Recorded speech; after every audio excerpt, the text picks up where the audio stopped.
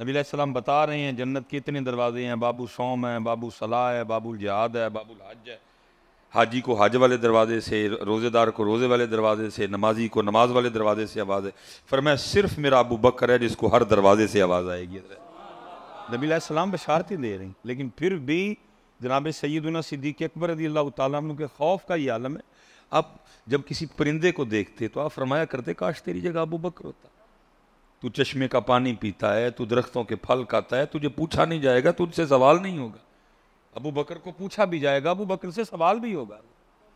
अम्मा आयशा सिद्दीकर दी अल्लाह ताला ना काश में घास होती, कोई बकरी मुझे खा जाती है। बेखौफी हज़रत लोगों बेनमाज हो के भी बेखौफी। गाफिल हो के भी बे वो नमाजी, वो शब्बेदार, वो तहजद गुजार, वो हलाल खाने वाले, वो तकवे वाले, उनकी शान में कुरान उतर रहा है फिर भी खौफ है। मेरे मौला मुश्किल कुशा शेर खुदा, है? हज़रत सैदन अलीमरतदा रदी अल्लाह नमाज़ के लिए खड़े होते रंग मुबारक जर्द हो जाता इधर जनाब, हम ही साल में नमाज़ में खड़े हो रहे हैं उत्ते वाला बटन खुले आदा है सिरू नंगे हैं, कपड़े इस तरह के पहने हैं। कोई अदाब नहीं, ना मस्जिद के, ना नमाज़ के, इधर खौफ भी कोई नहीं।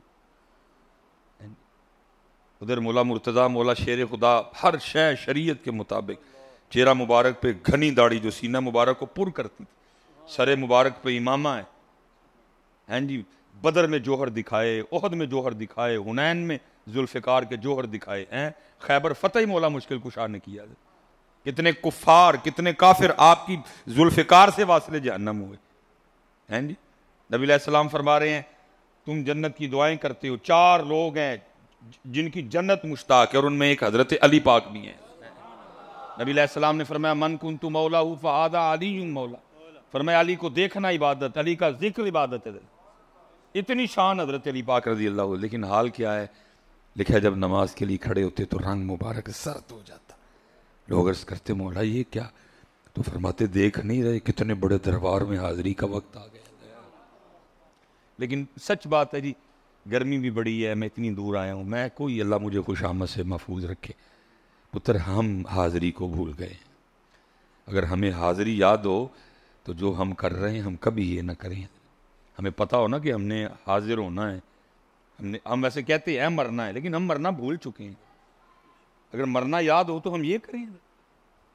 हम कहते हैं वैसे लफ्जों में बैठ। नहीं खाली हाथी जाना भाई, खाली हाथी जाना है तो फिर अक्का मारा मारी पाई है। फिर अगर माँ कहता है कि खाली है फिर ये क्यों मारा मारी डाल रखी है तुम? अगर बात रोटी की करता है वो तो बात है उस बात फिर मार, कह तू तू तू नहीं कह रहा कि खाली हाथ जाना तू वह एथू कह रहे हैं। तेरे ऐथे ते तेरे ऐथे कोई नहीं खाली हाथ जाना। जिस दिन तेरे ऐथे और तेरे ऐथे आ गया ना कि खाली हाथ जाना फिर हज़रत जी कोई पाउडर वाला, कोई केमिकल वाला दूध नहीं बेचेगा। कोई दो नंबरी नहीं होगी। दो नंबरी हो ही इसलिए रही है। कि हम सिर्फ़ इधर से कह रहे हैं कि खाली जाना। भाई खाली जाना फिर कानू छत्तन डे हैं हराम दे पैसे कट्टे कर करके मल।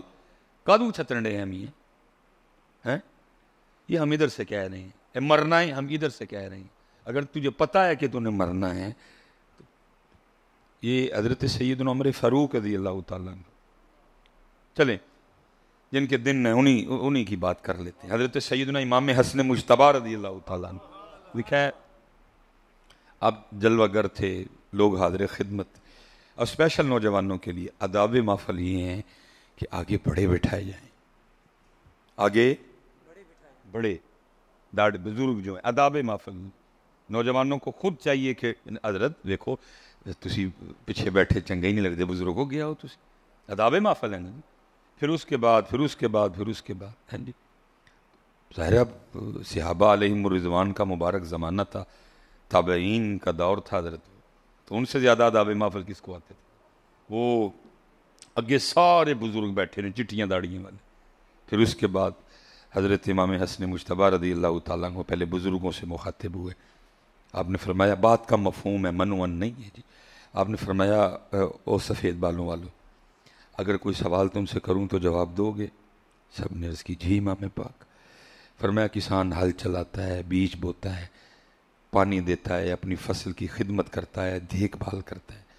फिर एक वक्त आता है, फ़सल पक जाती है, तैयार हो जाती है। भाई बताओ, सफ़ेद दाढ़ी वालों, किसान अपनी फ़सल से फिर क्या सलूक करता है?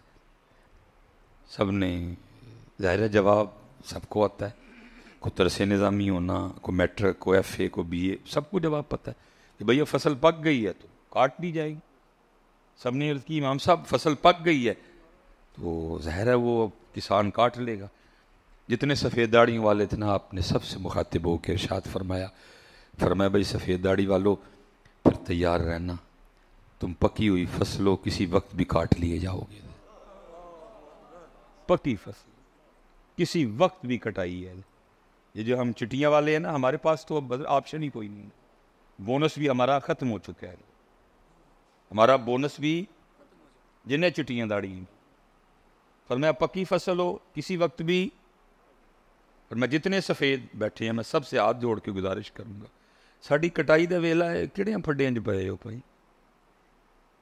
बच्चे ਵਿਆਹ ले पोतरे वेख ले दोतरे वेख ले हूँ की कढ़ना जी इधर जरा बोनस टाइम मिले रब न मनाओ यार वो जो जवानी में गफलत हुई है कोताही हुई है उसकी माफ़ी मांगो अब क्या निकालना दुनियादारी मैं कहूँगा अगर जितनी सफ़ेद दाड़ियों वाले हैं अब हमें पाँच पे ब्रेक नहीं होनी चाहिए। अब हमारे पास तहजद भी होनी चाहिए। वह गनीमत दी है मालक अल्लाह पाक और नबी पाक सलाम के ज़िक्र पाक की बारी है। तो क्या करें। ए, अल्लाह ने मुँह में इसलिए रखी है मैं आपको सही कह रहा हूँ। जो हम इससे सारा दिन काम लेते हैं, ये उस काम के लिए तो है ही नहीं। झूठ के लिए तो नहीं है लानत अल्लाह काजी भी ना गीबत के लिए अल्लाह मुआफ़ करे, जना से बदतर है। ना ये चुगली के लिए है, ना ये बोहतान बांधने के लिए, ना ये फजूल बोलने के लिए। तो झूठ के लिए नहीं है, गालियों के लिए नहीं, बोहतान के लिए नहीं है, गीबत के लिए नहीं है, फजूल बोलने के लिए नहीं। तो फिर काहे को है? ये ज़िक्र के लिए। ये दरुद पाक के लिए, पुत्र। ये कुरान पढ़ने के लिए। अकूलू लिन्नासी हुसना। ये अच्छा अच्छा बोलने के लिए है। तो जिस लिए है, जब वो काम करने की बारी आती है तो सॉरी चुप। तो जिसके लिए नहीं है, वो नहीं नहीं, वो करते रहते हैं। मैं अक्सर कहता हूँ कि जब हम रात को सोते हैं ना तो हमारी ज़ुबान भी कहती होगी, या अल्लाह, शुक्र हो गया, जान छुट्टी जब से उठा है, तेरी नाफरमानी में लगा रखा है मुझे। मेरे काबू में है ना, मेरे कंट्रोल में दे दी गई है वो खुद तो नहीं करती, मेरे काबू में उसको कर दिया गया।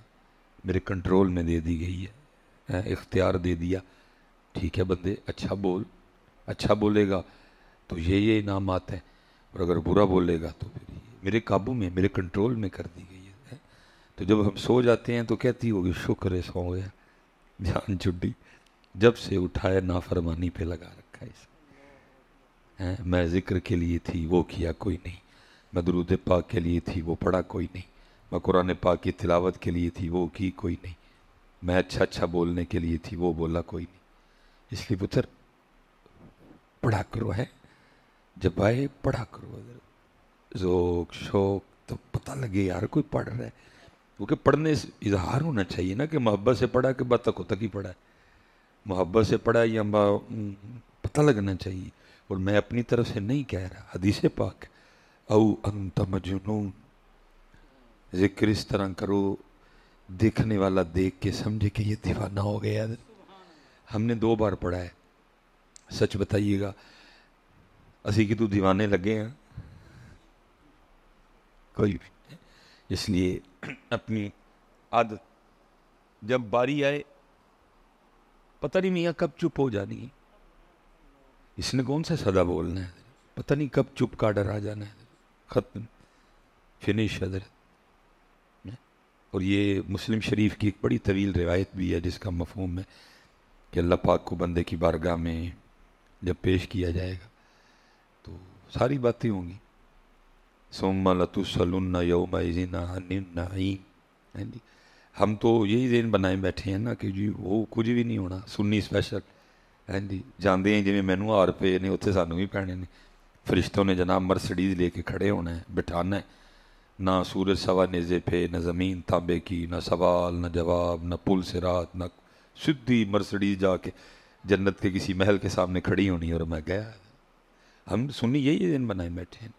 यहाँ तो चलो, माशाल्लाह, नकीब साहब ने दावत इस्लामी से मुंसलिक है, एक जेन बना हुआ है। तो इस तरह की कोई बात नहीं की। क्योंकि नकीब का यही तो काम होता है।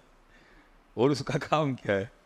है नहीं, बशारतें देनी, बेअमली के बावजूद बेअमली पे उबारना, बेअमली पे दलेर करना ऐसे ऐसे अशार पढ़ना। क्योंकि अगर वो नहीं पढ़ेगा तो आप उसको पैसे तो नहीं ना देंगे। को बंदा आपको कि दाढ़ी रखो, आप उसको पैसे देंगे? कोई बंदा आपको कहो दाढ़ी रखो अब उसको पैसे दोगे? अब तो उसको दोगे जो ओह, कुछ भी नहीं, सत्य ही कह रहे पैसे तो नहीं लपड़े ने। जो आपको बेदाड़िया होने के बावजूद भी बशारत दे के जाए। पैसे तो आपने उसको देने पता जो जो दाढ़ी के लिए किया उसको किसने पैसे देने तो ये पेश होना सब। सुमला तुसलुन्ना ये ना हम एक में, ना हम ग्यारह में। लेकिन ऐसी बेवकूफ़ी देख के मैं हैरान। सिद्दीक अकबर रदी अल्लाह तु जिनके लिए अहादीस मौजूद हैं। नबी सलाम फरमा रहे हैं, मैं इस हाल में मैदान माशर में आऊँगा, एक हाथ में अबू बकर का हाथ होगा, एक हाथ में उम्र फ़ारूक का हाथ होगा। नबी बशारतें दे रहे हैं।